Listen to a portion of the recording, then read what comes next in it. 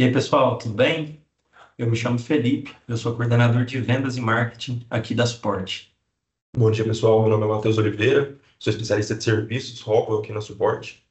E hoje a gente vai abordar no nosso webinar como a gente consegue fortalecer a segurança industrial, do ponto de vista realmente da cibersegurança, com foco em detecção e prevenção de ameaças, com todo o portfólio que a Rockwell Automation consegue fornecer para vocês.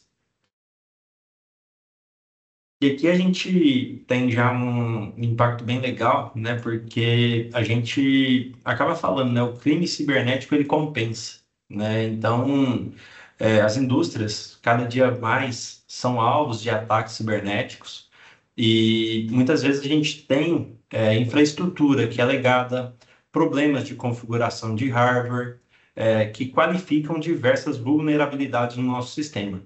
E isso acaba é, trazendo né, o risco e muitas vezes é, o problema da, do ataque, né, que a gente acaba percebendo ao longo aí da, da jornada industrial, né, Matheus? Isso, perfeito. E aqui tem alguns dados bem legais, né, Felipe? Que, que mostra realmente o, o boom desse, desses crimes cibernéticos, tudo que vem acontecendo nos últimos anos, é, principalmente ali no, no auge da pandemia, onde a gente teve vários é, acessos remotos, acessos online, reuniões online, então assim que aumentou bastante o, o, o número de, é, de vulnerabilidades, porque é comum a gente perceber hoje que toda organização realmente possui vulnerabilidades. E, e, então a gente pode perceber que nesses últimos três anos é, houve um aumento de aproximadamente 61% dos fabricantes industriais eles sofreram algum tipo de violação, algum tipo de ameaça, algum tipo de anomalia. E o pior é que dentre esses 61%, 60% desses ataques eles passaram despercebidos. Então, realmente, é, esses, esses ataques, eles sendo despercebidos, você não consegue identificar por realmente ter uma base legada, ter problemas de hardware, alguns problemas de vulnerabilidades. Então, além desses números, é, além desses números passados, a gente ainda consegue perceber que para os próximos anos, até 2025, talvez até 10 trilhões de dólares ainda seja estimado gastar com algum tipo de ataque cibernético. Então, a gente consegue realmente perceber que várias das, das organizações elas não estão preparadas e é justamente aqui a gente está aqui para isso, para tentar mostrar essas vulnerabilidades, o que, que a gente pode estar apresentando para vocês nesse cenário. Exato. E aí isso acaba trazendo para a gente é, um risco que muitas vezes a gente não conhece e também a questão da gente não só perder dinheiro, né? Porque às vezes a gente tem que pagar para fazer esse resgate, mas a gente perde propriedade intelectual, expõe dados nossos e dos nossos clientes, e isso de longo prazo é um problema, né? Então acaba que a gente precisa entender como que a gente consegue se precaver e agir em todos esses casos. Exato, Felipe, ser proativo nesse caso, né? E nessa proatividade a gente vai trazer aqui um ponto muito importante também, que é explicar como é que funciona a metodologia da cibersegurança industrial. É, quem teve a oportunidade de participar do último webinar voltado para a cibersegurança, acho que vai ter uma familiaridade com esse procedimento, com, esse, com essa metodologia, eu gosto muito de exemplificar sobre ela, que é um pouco da escada da cibersegurança industrial, ou seja, a jornada que a gente deve percorrer para alcançar ali a eficiência que seja ideal, ou talvez a eficiência máxima.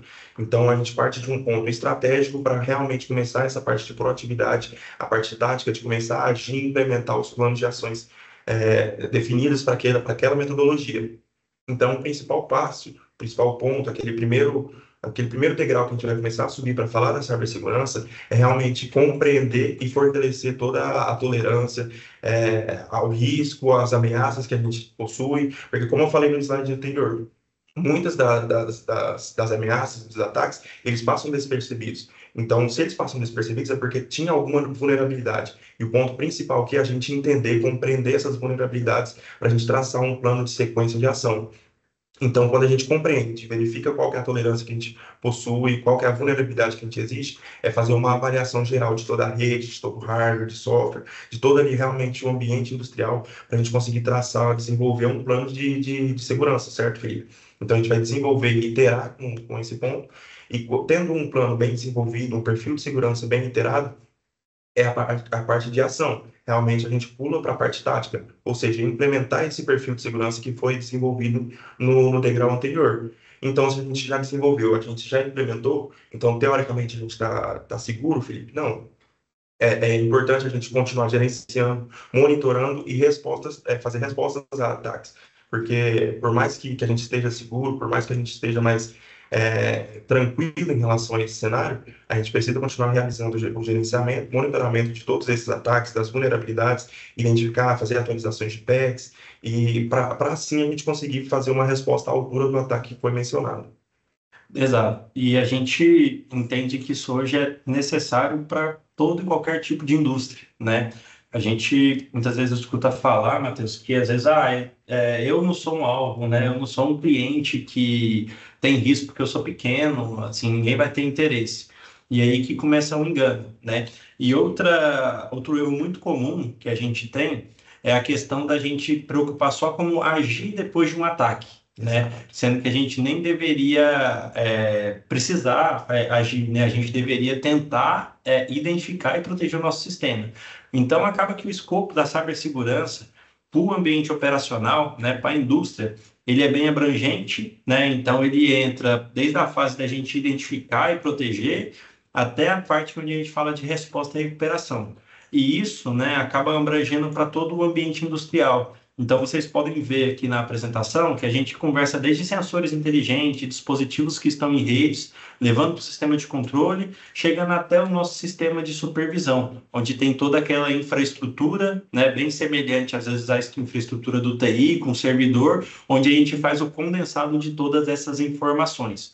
Então, é, é importante né, que a gente consiga né, é, trabalhar para a gente conseguir identificar e proteger o nosso sistema, né? A gente é, evitar o máximo de ter alguma exposição, né? Se a exposição acontecer, porque a gente sabe que são muitos cenários, né? E é muito abrangente a gente falar que a gente consegue é, travar 100% de toda e qualquer invasão mas é importante, se estiver acontecendo, ela ser detectada, né? Então, a detecção é o que faz o passo, né, que a gente tem depois que a gente conseguir responder essa ameaça e fazer a recuperação do sistema. Então, depois que foi sanado toda a questão da, da, invasão, do malware que foi instituído ali dentro, né? A gente consegue recuperar com aqueles backups, né? Caso tenha isso daí interferido na produção, né? É, para a gente voltar naquele estado otimizado que a gente tinha de configuração para é, colocar a produção a pleno vapor. Então, é complexo, né, do ponto de vista de precisamos é, abranger todos os níveis industriais e precisamos trabalhar desde a identificação até a recuperação do nosso sistema. Então, a gente não pode deixar que isso é, seja só uma parte ou só uma fase. Né? O, o escopo tem que ser bem abrangente e completo, que nem o Matheus vai comentar para vocês aqui agora. Sim, perfeito, Nico. É, é, sempre bom ter isso bem mentalizado, que é, é sempre importante a gente mencionar primeiro a, a, o preventivo antes da corretiva. Então, a gente sempre está se precavendo, é, sempre está bem alinhado quanto a esse escopo que o Felipe comentou, antes de realmente pensar em responder e recuperar, então tem que ter bem, isso bem inteirado. Então, analisando essa linha do tempo, essa continuidade do ataque, é, vários serviços várias, vários recursos de, de, detecção de ameaças, eles podem ser implementados ao longo desse caminho. Então, quando a gente fala ali antes de um possível ataque, é, o principal ponto, como eu comentei, é a gente pensar em recursos de descoberta, de detecção, de identificação, de identificação de ameaças e vulnerabilidades. E a partir do momento que a gente tem isso bem inteirado, a gente pensa ali durante um ataque, é, a, a parte de detecção da ameaça. Então, a gente, é, como eu havia comentado anteriormente, tem muitos pontos que a gente realmente está sofrendo um ataque e nem está sabendo. É, geralmente pode levar de três a seis meses para uma, uma indústria é, de grande porte, por exemplo, perceber que está sofrendo algum ataque. Então, é realmente, se a gente tiver esse passo anterior bem inteirado de identificação e, e, e proteção, a gente consegue ter todos os recursos de detecção é, bem alinhados com isso. E, e depois, é, analisando ali bem a, a, linha do tempo, a gente começa a pensar em responder e recuperar os dados. Então, é, resposta à, à, altura dos ataques que foram sofridos, é, como se precaver, como se proteger esse ataque e também pensar em recuperação em caso de alguma perda de dado, é, questão financeira, tudo isso é envolvido também nesse escopo de lançamento do serviço de detecção, Felipe.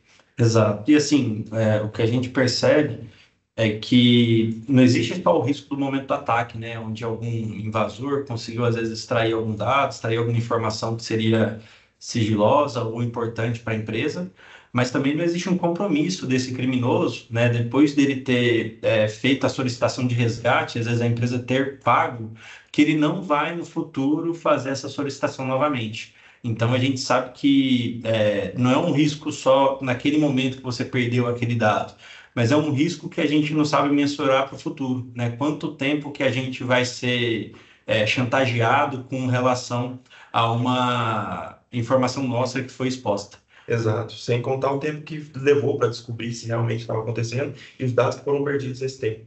Exato. Então, assim, não existe confiabilidade. Então, por isso que é muito importante a gente acompanhar todo esse ciclo, né? Isso. E aí vocês podem até me perguntar, é... beleza, a gente fez todo o levantamento, tem toda a parte de vulnerabilidades que a gente tem que realmente encontrar e descobrir, mas como é que a gente pode se precaver, como é que a gente pode se, se reiterar nesse assunto para a gente conseguir é, estar à altura de possíveis ataques, futuros ataques, e conseguir se defender diante desse cenário? Hoje no, no setor, né, né, em toda a parte industrial, é, existe uma parceria de cibersegurança muito forte é, entre dois líderes do, do, do, mercado, que é a Clarity na parte de cibersegurança, na parte de detecção de ameaças, é, realmente é, visibilidade cibernética, fazer toda a parte de resiliência cibernética. Então a Clarity está bem inteirada nesse assunto, juntamente com a Rockwell, que é a principal fornecedora de, de, de, hardware e também de serviços voltados para essa área de automação industrial, é, parte de TA, é, TI, é, tecnologias operacionais, então toda a parte de, de hardware voltada para segurança industrial, seja ela é, segurança pessoal ou cibernética, alinhada juntamente com os, a, a, plataforma da Cloud para detecção de ameaças, para visibilidade e aumento da resiliência cibernética. Exato, e acaba que é, essa parceria, acho que consolida um trabalho muito legal, né, onde o foco é, das duas empresas é o ambiente operacional, né, é o chão de fábrica. Então, é, muitas vezes a gente é, escutou falar, ah, o pessoal do TI tem as ferramentas deles, né? Eles têm as soluções deles. E às vezes a gente fica é, se sentindo amarrado, né? Sem poder é, determinar ou sem poder ter a visibilidade sobre o nosso sistema, né? Tendo um controle muito rigoroso com relação às políticas de privacidade e políticas de segurança da empresa. Então, acho que a gente, quando a gente consegue também trabalhar toda essa questão dentro do chão de fábrica, existe uma visibilidade excelente para a gente, para a gente conseguir é, otimizar a união né, entre o ambiente de infraestrutura, o ambiente de TI, com o ambiente operacional de chão de fábrica. Então, isso é, é muito legal e é muito importante para a gente conseguir mais autonomia e mais é, força para a gente desenvolver o nosso trabalho. E a gente sabe que é, a gente precisa proteger toda a nossa infraestrutura, né? E cada vez mais os ataques são é, mais pensados, mais planejados, mais sofisticados, né? E a própria tecnologia ela avança numa velocidade muito alta, né? Então, uma implementação estratégica de formas de controles é, corretos, ela depende de basicamente aí três pilares. Então, são as pessoas, né? Então, elas precisam estar capacitadas, treinadas entenderem os processos, que é o outro pilar, né? A gente precisa fazer é, as coisas acontecerem da maneira correta, né? Muitas vezes a gente faz algum ajuste, alguma coisa que é para é, facilitar a nossa vida, mas a gente não tem noção, de, às vezes, um risco que a gente pode estar expondo. E também a tecnologia, né? A gente precisa habilitar. Não adianta a gente ter um processo estruturado, as pessoas capacitadas, mas não ter ferramentas para a gente poder fazer todo esse ciclo da cibersegurança. Então, isso é muito importante, porque aí a gente consegue é, realmente né, proteger os nossos ativos né, de ataques, limitar, às vezes, algum impacto que venha acontecer em algum evento de é, risco. Então, a gente é, tem diversas capacidades de oferta dentro do nosso portfólio, né? Então, dentre elas, né, a gente consegue fazer segmentação de rede, né? Porque a gente sabe que quando um ataque entra, o objetivo dele é se espalhar por todo o sistema, né? E a segmentação ajuda a gente a fazer a contenção desse risco. É, construir é, uma arquitetura né, que separa os ambientes de TI do nosso ambiente operacional, né? Então, a gente tem é, o que a gente chama de zona desmilitarizada industrial, onde a gente consegue fazer um controle seguro né, das informações que são transitadas entre os dois mundos, tanto o operacional quanto o mundo de enterprise da companhia. É, a gente sabe que às vezes a gente tem aquele computador lá na área industrial antigo, né? às vezes tem algum notebook que a gente utiliza, mas hoje é, o modelo caminha para a implementação de data centers, seja eles data centers centralizados ou data centers que a gente chama de borda, né, que podem estar espalhados por diversas áreas da indústria, mas eles precisam ter uma infraestrutura correta, né, a virtualização correta das máquinas, para que a gente diminua riscos, né, atualize os firmwares, os patches que a gente tem que ter. É, a questão de acesso remoto, né, geralmente isso é sempre um problema, né, às vezes a gente acha que espetar alguém de fora ali direto naquele controlador ou naquele computador, não vai trazer risco, porque às vezes a gente pensa que a gente está direcionando só para esse sistema, mas não, ali pode ser uma porta de entrada para um cyberataque. Né? Então, é, a gente consegue fazer um acesso remoto de forma segura, que é o importante para a gente não ter nenhum problema de vulnerabilidade. E aí a gente tem a questão, né? Da gente ter a proteção mesmo, né, de todos os dispositivos, né, ponta a ponta. Então, tudo que está em rede dentro do sistema, eles estarem de forma segura e também com os patches atualizados. Então, os fabricantes geralmente soltam patches, correções, é, às vezes mensalmente, anualmente, né, de acordo com as vulnerabilidades apresentadas. E essas correções elas devem vir para dentro do sistema, para que a gente otimize o nosso sistema de proteção. E aí, por fim, né, quando a gente tem tudo isso é, planejado, mapeado, organizado, a gente ter um plano de backup, né, porque é, ter o backup mais recente do que estava operacional antes de uma parada por um cyberataque é muito importante, porque a gente sabe que a indústria ela tem um movimento constante de otimização, né? A gente nunca trabalha é, o ano inteiro com às vezes a mesma lógica ou às vezes com o mesmo setup, às vezes a gente muda, configura para a gente otimizar. Então, qual é o backup mais recente? Esse backup é um backup seguro, né? Ele não foi alterado. E como que a gente recupera isso? Coloca tudo para rodar depois da gente conseguir fazer um bloqueio e uma resposta para o cyberataque que a gente teve. Então, todo esse conjunto é muito importante. E o Matheus vai apresentar aqui como que a gente consegue linkar, né? Toda essa questão de, de portfólio né, e ferramentas para a gente avançar para a cibersegurança. Isso, Felipe, perfeito. E alinhado toda essa infraestrutura, esses capabilities e ofertas que o, o Felipe comentou, a Clarity, juntamente com a Rock, possui um portfólio muito grande voltado para a parte de detecção de ameaças, ou seja, ali o CTD, o serviço CTD da própria Clarity, é, com, com a, o hardware e os serviços de software também da própria Rock. Então, quando a gente fala da parte de software e suporte, ah, tanto a Clarity quanto a, a nesse caso, possuem um contrato, um centro global para licenças de, de assinaturas é, é, anuais de softwares ou que sejam elas, elas perpétuas, sem contar todo o suporte que eles prestam para essa parte de serviços, é, a questão de atualizações para sempre manter a base atualizada. Então, toda a parte de suporte ali voltada para as licenças, para softwares, é, isso vai estar bem encaminhado, além de, de projeto e instalação também, desde vai ter uma equipe toda acompanhando, desde o projeto até a instalação de uma nova linha de produção, por exemplo. Então, é, além de ter serviço de instalação remota ou seja no local, tem uma equipe especializada, equipe bem capacitada, com expertise suficiente para estar acompanhando todo o projeto, toda a implementação de um serviço de rede nova.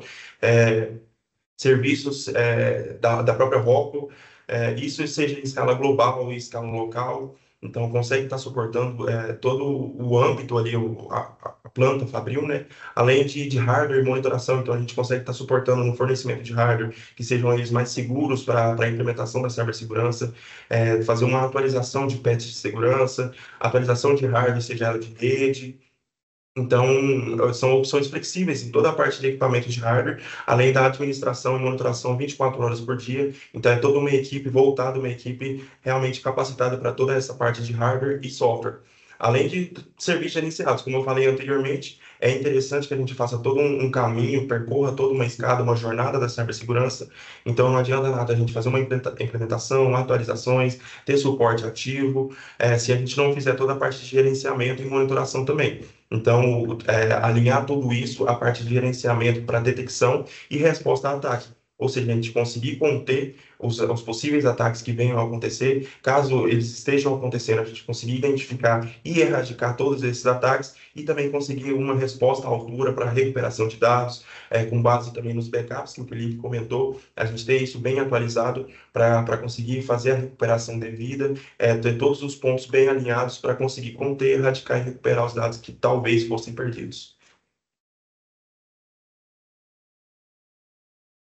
E, além disso, é, dando uma, uma destrinchada é, ali no, no, CTD da própria Clarity, é, falando um pouco mais sobre essa detecção contínua de ameaças, é, utilizar os mecanismos de detecção da própria Clarity, ou seja, a gente conseguir identificar anomalias, é, identificar e analisar as assinaturas eletrônicas, é, personalização de regras, é, identificar comportamentos operacionais de todo o ambiente industrial, além de comportamentos de segurança, sejam eles de pessoas ou comportamento de rede, comportamento de, de segurança industrial, quando a gente fala de cibersegurança. Então, utilizando esse CTD da Clarity para fazer uma monitoração passiva e com base nessa monitoração passiva, realizar uma consultativa de todos os dados ali do, do ambiente, fazer uma identificação do que, que existe de vulnerabilidade para possíveis é, respostas a alturas e, com isso, realizar uma análise todo um banco de dados ali via aplicativo da própria Clarity para identificar e ter 100% de visibilidade. Ou seja, falar, é, alinhar tudo isso ao que eu comentei anteriormente, que é identificar e detectar, proteger e responder um ataque, um, uma, uma anomalia cibernética à altura do que realmente ele precisa. Né? Exato. E aí acaba que todo esse mecanismo né, de detecção da ferramenta ajuda com que a gente entenda quais são essas anomalias, é, tem assinaturas né, digitalizadas para alguns processos que são importantes e precisam ser seguros, que a gente consiga também personalizar é, métodos né, da ferramenta fazer o controle e entenda também né, com a própria ferramenta, com a própria capacidade diagnóstica dela, é, entender os funcionamentos operacionais do nosso sistema e também comportamentos que devem ser tratados como comportamentos de segurança. E aí, dentro é, disso, né, acaba que a, a ferramenta ela é um console hoje de gestão empresarial, né? Então, é uma plataforma muito amigável, né, onde a gente consegue é, monitorar todo o nosso sistema interligado de tecnologia operacional. Então, é, com a ferramenta, a gente consegue ter visibilidade, né? a gente consegue centralizar o controle de toda a nossa arquitetura que a gente tem distribuída em várias partes da planta e também né, é, obter a consolidação né, dos ativos de maneira que isso faça a possibilidade de identificação de problemas e também de eventos de ataque cibernético. Então, é, a ferramenta ela é bem completa, bem abrangente, para que a gente possa trabalhar. Isso, e além de ter um console de gestão ali bem estruturado, é, a gente tem uma possibilidade de fazer uma gestão de vulnerabilidades com mais competência, com mais eficiência, porque consegue correlacionar todas as vulnerabilidades das posições comuns, ou seja, dos CVEs, conhecidas através do inventário de ativos.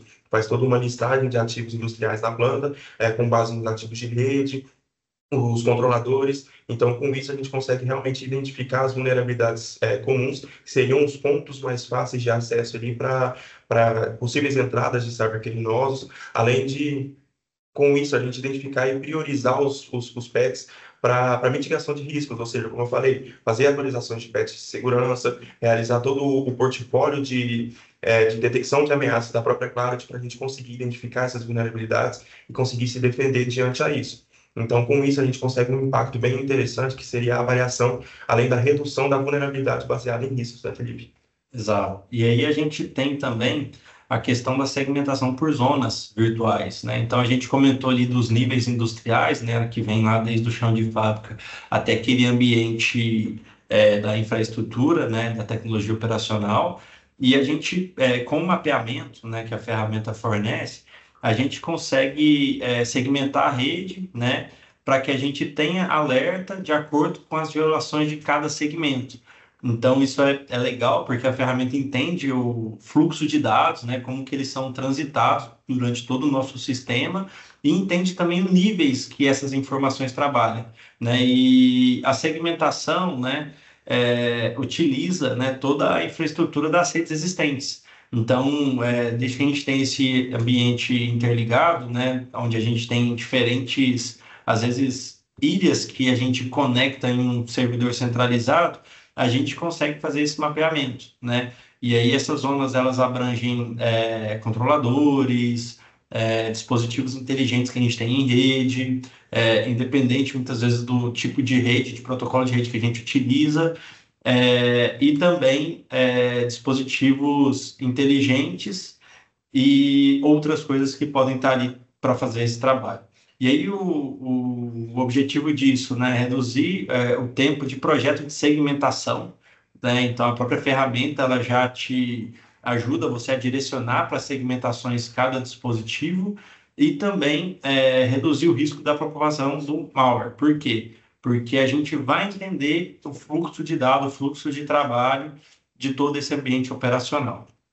Isso, então, além de ter um console de, de gerenciamento, é, gestão de vulnerabilidades, todas essas zonas virtuais ali bem estruturadas, é, além de ter tudo isso, a gente ainda tem um histórico de, de é, como se fosse um log de, de, falhas, uma classificação de alertas com base no nível de severidade. Então, a gente pega ali, por exemplo, o, próprio inventário de ativos que a gente havia é, mencionado anteriormente e faz uma, um, uma classificação via severidade, do, do menos, é, que possui menor criticidade, até o, a linha que possui maior criticidade, e fazer uma classificação é, para histórico de alertas, e com isso a gente conseguir fazer uma redução do tempo de localização de falhas, um, um tempo de, de localização de, de ameaças, ou é, fazer uma análise mais rápida de alertas específicos com base nas métricas detalhadas que foram classificadas nesse histórico, nessas falhas, nesses logs que foram levantados. E com isso a gente consegue fazer uma relação ali do sinal ruído um pouco reduzida, além do menor tempo para resolução, ou seja, o menor tempo para identificar um possível ataque e o menor tempo também para resolução a esses possíveis ataques. E aí, acho que uma é, entrega muito legal da ferramenta é porque ela é bem personalizável, principalmente do ponto de vista de visibilidade. Então, é, a gente tem geração de relatórios né, já automatizados. É, os relatórios eles podem também ser personalizados. É, existe um console, né, um painel onde a gente consegue adicionar é, widgets que a gente consegue ou já pegar prontos ou também configurar, personalizar é, tem a visibilidade né, de alertas né, e de investigação né, das ferramentas expostas dentro do software e a gente consegue realizar uma triagem né, dos tipos de alerta, das causas que são é, conhecidas, né, é, e também atuar ali para que a gente facilite né, correção de incidentes e a procura ativa né, de ameaças. Então, é, a experiência do usuário, né, ela é legal porque ela permite que operadores do sistema, até níveis gerenciais, consigam ter casos de uso dentro da ferramenta, né? E aí eu acho que vem uma preocupação muito grande, né, Matheus? Porque às vezes é, é, a ferramenta é tranquila, simples, mas às vezes a gente ainda não tem conhecimento, a expertise, o como deveria ser uma boa prática de implementação. Né? E aí seria bacana a gente poder conversar, né? Eu acho que a Rockwell tem um serviço muito legal que consegue facilitar a vida do cliente, né? Exato. Sim, sim. Então, é, aqui a gente trouxe é, alguns casos, né? Então, é, a gente acaba com a construção da base, né? Esse é o nosso alicerce. É o que a gente precisa entender, né? É o que a gente precisa de projeto e de avaliação de rede. Então, a partir do momento que a gente é, precisa proteger, a gente precisa entender a situação da infraestrutura e das necessidades do nosso sistema de controle. Né? E aí, a partir daí, para a gente poder começar a fazer a implementação, fazer gestão e monitorar essa infraestrutura, né? E aí, para isso, muitas vezes a gente tem um tempo acelerado de necessidade, né? A gente não pode é, esperar um grande tempo para a gente ter algum recurso de proteção, né, de identificação de ameaças. Então, existem já soluções pré-fabricadas que ajudam que a gente é, acelere o tempo de desenvolvimento e aplicação de uma base segura e forte é, dentro do nosso sistema, né? Isso, Felipe. Então, é, fazendo uma recapitulação geral, é interessante a gente fazer, percorrer esse caminho, subindo degrau por degrau. Então, além de ter uma base já é, bem estruturada, bem construída, é importante a gente melhorar, aumentar a nossa resiliência cibernética diante desse cenário que vem acontecendo. Então, principalmente, é, fazer uma reparação de segurança geral, ou seja, com base nos relatórios, com base em toda a parte de identificação e avaliação que foi feita, é, é, é gerado uma, umas recomendações de cibersegurança para a plataforma, pela própria plataforma da, da Cloud, que ajudam, é, facilitam todo esse processo a, a ser seguido. Então, o, o, nível de hardware, o nível de vulnerabilidades possuídas, é, onde deve ser maior, maior a criticidade, onde não é, é tão crítico a ser tratado. Então, realmente realizar todo um reparo de segurança e com isso fazer uma, uma bela, uma grande é, microsegmentação de toda a parte de, de, zona desmilitarizada industrial, como o Felipe havia é, mencionado. A gente fazer uma segmentação de, de TI, TA e TO. É, o pessoal de TI tem ali todos os seus equipamentos, todas as suas é, metodologias de trabalho, o pessoal de TA tem a sua metodologia também, e o pessoal de TO também tem outra metodologia completamente diferente. Alinhando as três, a gente consegue realmente fazer uma, uma estruturação, uma resiliência cibernética melhor. Então, quando a gente mistura tudo, coloca é, tecnologia de automação junto com a informação e ainda mistura isso com a tecnologia operacional, acaba ficando um pouco vulnerável demais, acaba deixando isso é, um pouco aberto a desejar quando a gente vai falar sobre a resiliência cibernética. Então, fazer essa microsegmentação da, das áreas de TI, TA e também incluindo o TO é importante para que a gente consiga alcançar essa eficiência nesse cenário. Além de realizar a gestão de pets, como eu havia comentado, fazer a atualização de todos os pets de segurança, é, correção de vulnerabilidades conhecidas, então realmente se proteger ao que a gente tem conhecimento, para a gente conseguir é, realizar algo mais eficiente, mais, mais aberto em relação à cibersegurança industrial lá na frente. Então, a gente tendo uma, uma base bem estruturada, bem construída e uma resiliência cibernética, algo já bem entendido e estruturado na nossa cabeça, a gente consegue alcançar esses, esses, esses, serviços de detecção de ameaças propostos pela própria Claret e pela Rockwell é, conjunto. Então, é possível realizar uma implantação é, eficiente de todos esses serviços, todos aqueles cinco cenários que a gente comentou anteriormente, fazer uma metodologia bem estruturada e que seja realmente capaz de responder aos ataques à altura, é, é, mitigando é, possíveis riscos e tudo mais além de, de considerar é, melhores práticas de implementação, é, implementação desse serviço de segurança. Então, a gente consegue é, incluir melhores artefatos detalhados com base nos relatórios que o Felipe comentou, os dashboards, então a gente vai ter realmente algo bem estruturado, bem alinhado para conseguir se defender contra, é, contra esses ataques, contra essas ameaças que a gente sabe que vão continuar surgindo, é, porque quanto mais tecnologia, mais encarecida é essa tecnologia, mais é, compensa para os cybercriminosos estarem realizando esse tipo de ataque. Então, tendo isso bem estruturado, é, tendo uma gestão de projeto também é, alinhada à, à, equipe global, tanto da Claret quanto da Rocco, para a prestação de suporte. Então, são profissionais especializados, são profissionais é, com expertise e capacidade suficiente para estarem acompanhando todo o processo, seja da, do, do, projeto até a parte de instalação e também acompanhamento depois da instalação. Então, durante o funcionamento de toda uma linha de produção, por exemplo, é, todos os setores, todos os locais ali que estão bem estruturados, estão bem é, desenvolvidos com base nessa resiliência cibernética. E além de todo o suporte global, que é constante, como eu falei, 24 horas por dia, com base em bancos de ensaios, então acompanhamento ali de todos os dados que foram levantados numa uma avaliação anterior, uma identificação anterior, e esses dados já estruturados no banco de dados para acompanhamento melhor, para verificação, números, dados, o que, que foi é, levantado, é, é, possibilidades de migração, possibilidades de atualização, o que, que é a necessidade de fazer uma, uma gestão de PET. Então, tudo isso está incluso nesse serviço de, de, CTD, mas como eu falei, é todo um degrau a ser percorrido, é toda uma escada, na verdade, a ser percorrida, e a gente tem que fazer isso degrau por degrau. Não adianta a gente fazer um degrau agora é só fazer a parte de avaliação e já partir para a parte de gestão. Não, todos os degraus têm que ser percorridos, eles têm que ser subidos para que a gente consiga alcançar essa resiliência cibernética de verdade, né, Felipe? Exato. E assim, a gente entende que é, a gente tem várias fases, né? A gente, dentro da indústria, tem várias fases. Às vezes a gente já começou é, a fazer a base, às vezes a gente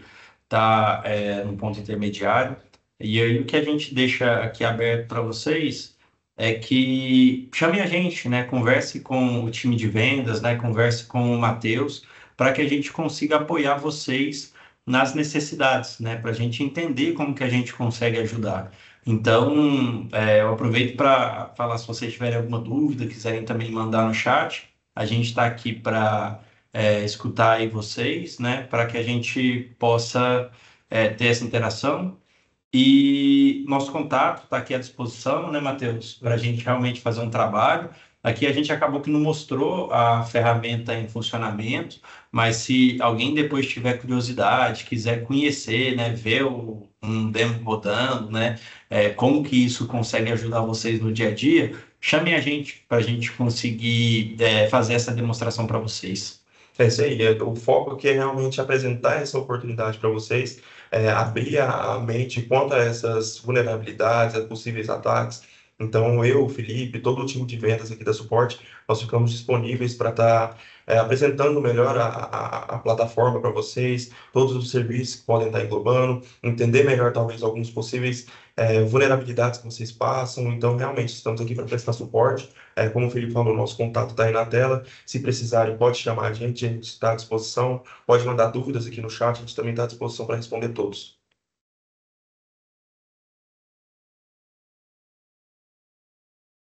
Beleza, pessoal. Então, assim, é, se vocês tiverem depois, né, mandem mensagem aí para a gente, se tiverem alguma dúvida, quiserem conversar, a gente está à disposição e a gente agradece a presença de todos. Obrigado, pessoal. Até a próxima. Abraço.